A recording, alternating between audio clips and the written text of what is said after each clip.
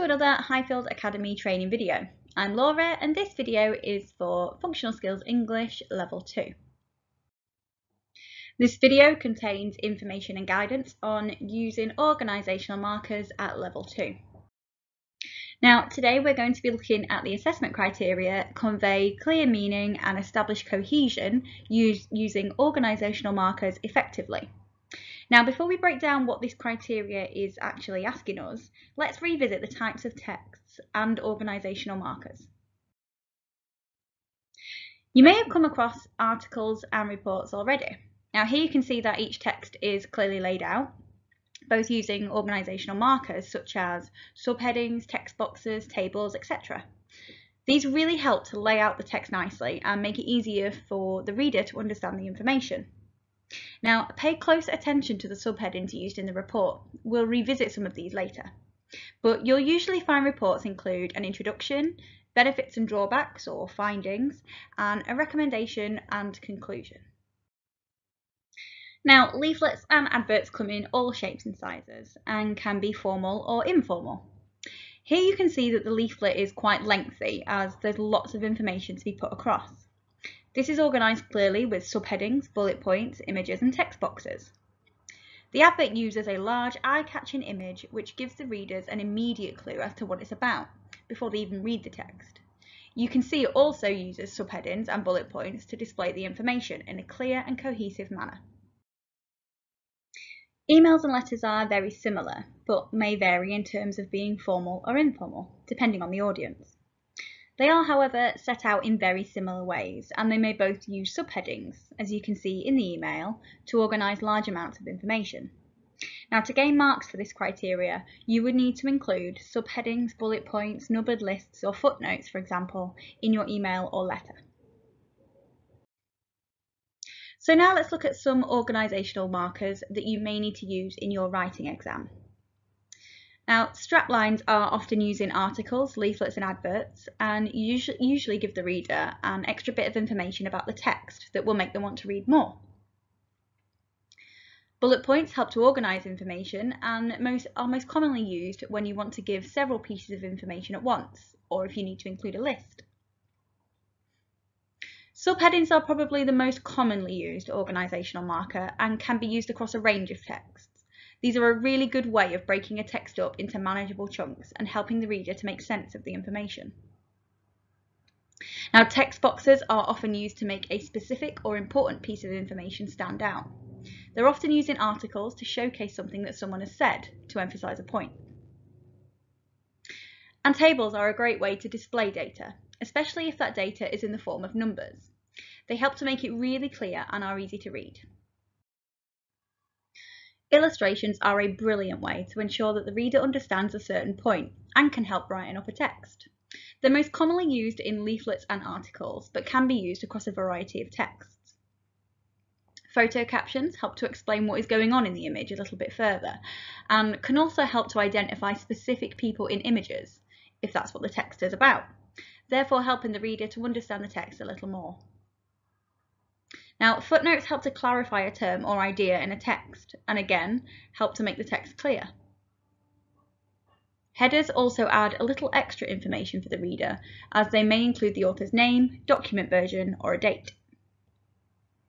And finally, numbered lists are very similar to bullet points in that they help to separate or chunk information uh, when you've got a lot to cover at once. But numbered lists are also a great way um, to explain a process or order of actions as it's clear to the reader what must be done first, second, and so forth.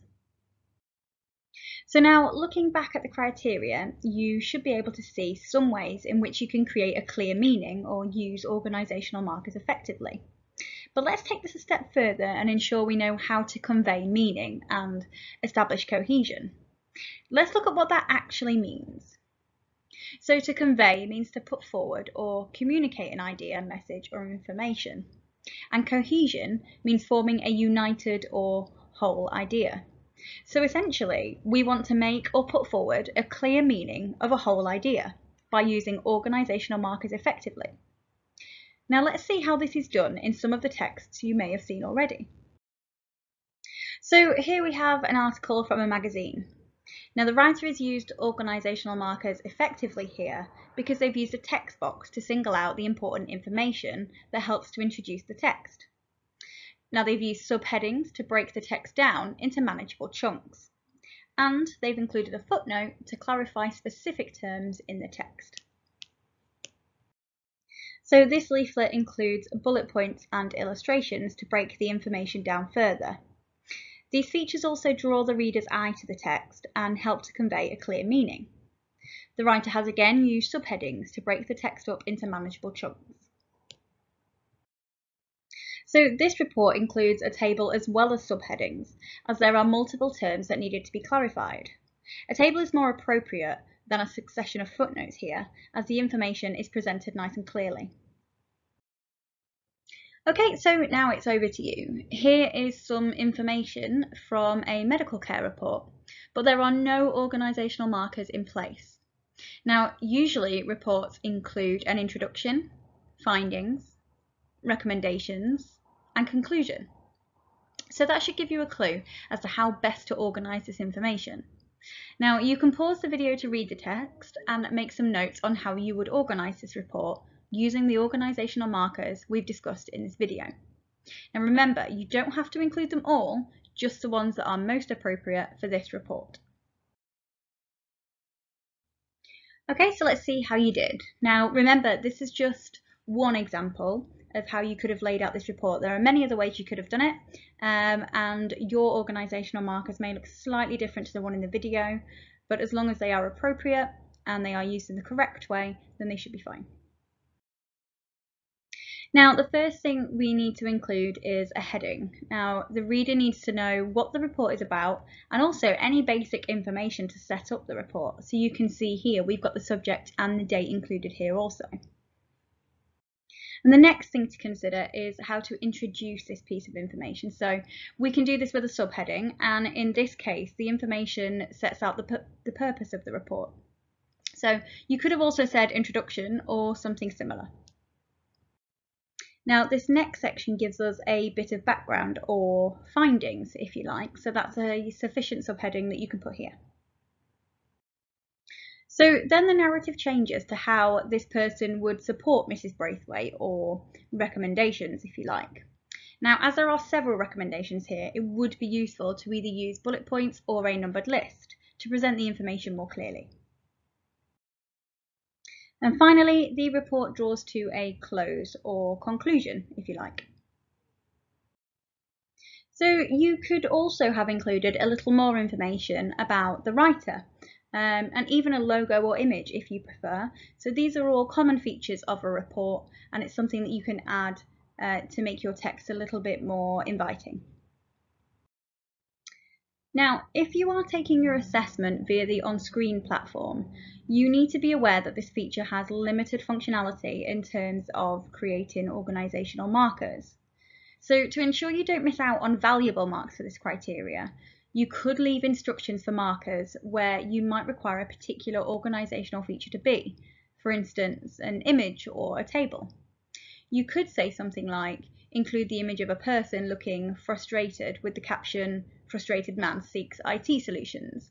Or you could say something like include a table which shows all the, all the data relating to children's ages. Um, this will be sufficient for your on-screen exam and will show the marker exactly where you mean that organisational feature to be. Okay, so let's recap some of the things that we have talked about in this video. So you should be able to now understand what should be included in each text type. You should also be able to select appropriate organisational markers for those specific text types. And you should now be able to ensure organisational markers establish cohesion and convey clear meaning throughout the text. Now I hope that you've enjoyed this video and make sure you check out all the other functional skills videos that are available on our website for support with your functional skills exams. Thank you for watching.